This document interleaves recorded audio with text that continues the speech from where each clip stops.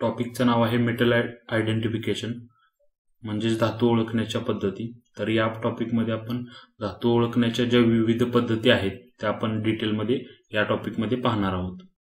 तर धातू ओळखण्याच्या विविध पद्धती आहेत त्यामध्ये ठराविक पद्धती आहेत त्या कॉमन आहेत म्हणजे इन जनरल वापरल्या जातात. तर धातू ओळखण्याची पहिली पद्धत म्हणजे बाय कलर तर प्रत्येक धातूला विशिष्ट असा प्रकारचा कलर असतो. त्या कलरवरून आपण त्या धातूला ओळखू शकतो. त्यानंतर दुसरा आहे तो म्हणजे बाय वेट तर प्रत्येक धातूला विशिष्ट अशा प्रकारचं वजन असतं. तर त्या वजनवरून आपण अंदाज लावू शकतो की तो धातू कोणता आहे. त्यानंतर आहे ते म्हणजे मॅग्नेटिक टेस्ट म्हणजे चुंबकाच्या साह्याने आपण ओळखू शकतो की तो धातू कोणता आहे.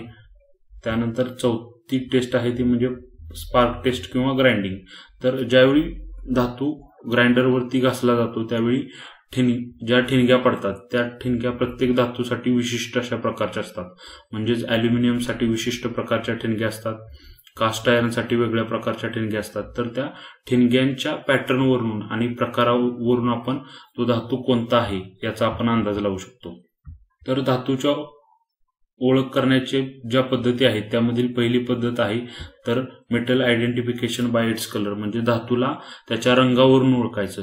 तर आपणास माहिती आहे की प्रत्येक धातूला विशिष्ट अशा प्रकारचा कलर असतो. तर त्या कलरवरून आपणाला अंदाज येऊ शकतो की हा धातू कोणता आहे. तर ते धातू आणि त्यांचे विविध कलर आपण पाहूया. त्यामध्ये पहिला आहे तो म्हणजे कॉपर तर कॉपरला जनरली लालसर कलर असतो. त्यामुळं कॉपर लाल रंगावरून आपणाला ओळखता येतो. त्यानंतर ब्रास ब्रास म्हणजे पितळ. पितळ हे येलो किंवा पिवळ्या कलरचं असतं.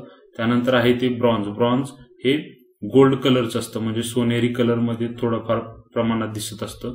त्यानंतर आहे ते म्हणजे कास्ट आयर्न कास्ट आयर्न हे ग्रे कलरमध्ये दिसतं. त्यानंतर आहे ते म्हणजे स्टेनलेस स्टील स्टेनलेस स्टील हे सिल्वर कलरमध्ये आपणाला दिसतं. त्यानंतर आहे ते म्हणजे अॅल्युमिनियम अॅल्युमिनियमचा कलर हा किंवा पांढरा असतो. तर धातू ओळखण्याची पहिली पद्धत आपण बघितली की त्याच्या रंगावरून आपण ओळखू शकतो की तो धातू कोणता आहे. त्यानंतर दुसरी पद्धत आहे की metal identification by its mass किंवा वेट प्रत्येक धातूला विशिष्ट अशा प्रकारचं वेट असतं. तर त्या वेटवरून किंवा वजनावरून आपण अंदाज लावू शकतो की तो धातू कोणता आहे. तर आपण ते ओळखू शकतो की तो धातू कोणता आहे. तर विविध प्रकारचे धातू त्यांच्या वजनाच्या चढत्या क्रमानुसार पाहूया. तर सर्वात हलका असतो तो म्हणजे अॅल्युमिनियम अॅल्युमिनियम नंतर जास्त वजन असतं ते झिंकचं त्यानंतर टीन. टीन नंतर जास्त वजन असतं ते आयर्नचं म्हणजे लोखंडाचं. त्यानंतर निकेल. निकेल झाल्यानंतर निकेलपेक्षा जास्त वजन असतं कॉपरचं. कॉपर नंतर कॉपरपेक्षा जास्त वजन असतं ते म्हणजे सिल्वर म्हणजे चांदी. त्यानंतर लीड. त्यालाच आपण शिष्य असे देखील म्हणतो. आणि शिश्यापेक्षा जास्त जड असतं ते म्हणजे गोल्ड आणि त्यानंतर दहावा क्रमांक येतो तो म्हणजे प्लॅटिनियमचा धातू ओळखण्याच्या पद्धतीमधील पुढील पद्धत आहे ती म्हणजे स्पार्क टेस्ट. तर आपण जेव्हा कोणताही धातू ग्राइंडरवरती घासतो त्यावेळी विशिष्ट अशा प्रकारच्या ठिणग्या उडतात. तर त्या ठिणग्यावरून आपण ओळखू शकतो की हा धातू कोणता आहे. उदाहरणार्थ जर ग्राइंडरवरती आपण अॅल्युमिनियम घासला तर त्याच्या ठिणग्या उडत नाहीत. त्यानंतर कास्ट आयर्न घासल्या घासला तर त्याच्या विविध प्रकारच्या ठिणग्या उडतात. त्यामध्ये पहिला आहे तो म्हणजे रॉट आयर्न आता आता इथं तुम्हाला दिसत आहे की पहिला आहे तो म्हणजे रॉट आयर्न ची स्पार्क इलिस्ट्रेशन दाखवलेलं आहे. म्हणजे रॉट आयर्न ज्यावेळी आपण ग्राइंडरवरती घासतो त्यावेळी तो कसा दिसतो? तर यामध्ये आपण बघा की रॉट आयर्न आपण ज्यावेळी ग्राइंडरवरती घासतो त्यावेळी अशा लांबट अशा प्रकारच्या ठिणग्या उडतात आणि त्या पिवळ्या कलरच्या असतात.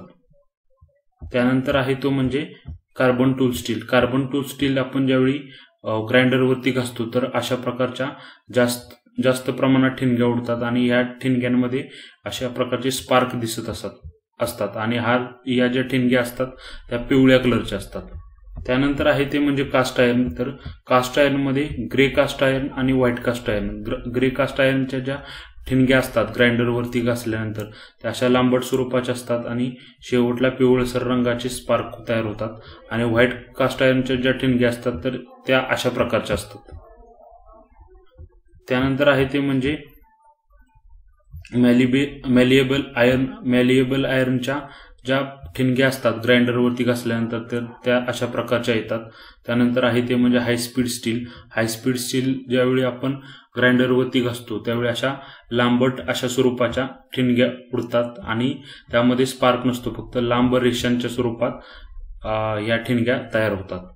त्यानंतर आहे ते म्हणजे मँगॅनिज स्टील मँगॅनिज स्टील ज्यावेळी आपण ग्राइंडरवरती घासतो त्यावेळेला आकृती दाखवल्याप्रमाणे पांढऱ्या रंगाच्या तेजस्वी अशा प्रकारच्या ठिणग्या तयार होतात.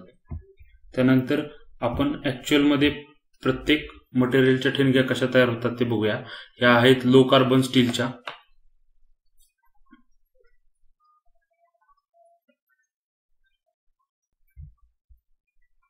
त्यानंतर या आहेत कॉपरच्या कॉपरच्या ठिणग्या अजिबात उडत नाहीत. त्यानंतर या आहेत त्या टायटॅनियमच्या तर टायटेनियमच्या पांढऱ्या शुद्ध अशा प्रकारच्या ठिणग्या असतात. पुन्हा एकदा बघूया आपण. तर लो कार्बन स्टील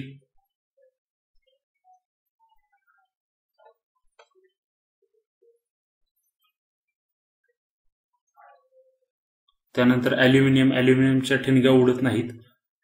त्यानंतर आहे ते म्हणजे स्टेनलेस स्टीलच्या आहेत या ठिणग्या.